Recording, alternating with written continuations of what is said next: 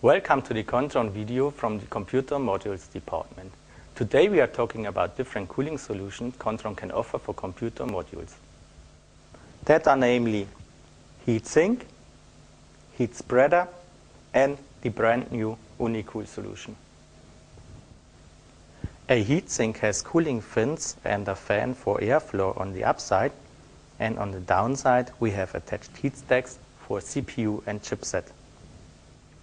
The heat spreader is a COM Express standardized thermal interface without fins. The plane surface can be attached, for example, directly to your housing. The Unicool is either available as active or passive profile. It extends the standard heat spreader to form a price-efficient and complete cooling solution. My colleague demonstrates now how to mount a passive Unicool onto a heat spreader.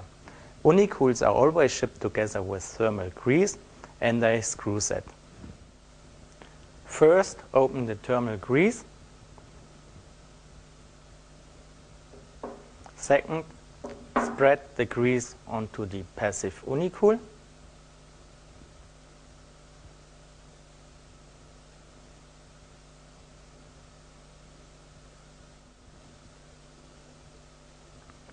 Third, attach the Unicool onto the heat spreader.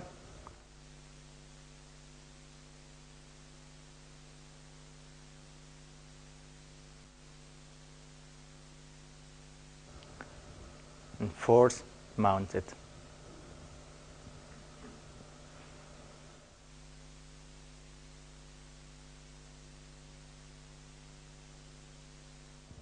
Thank you for watching. Visit us at www.kontron.com.